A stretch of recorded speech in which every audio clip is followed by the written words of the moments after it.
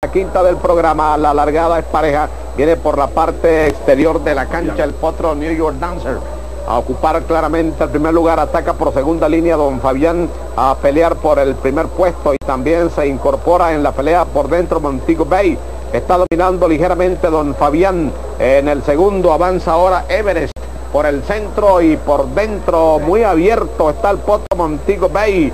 Don Fabián está solo en la punta. Eh, Montigo Bay pegado a la baranda, mañoseando mucho y por fuera New York Dancer, porque el potrillo Don Fabián los galopa en gran forma con Jorge Martiniano Palma.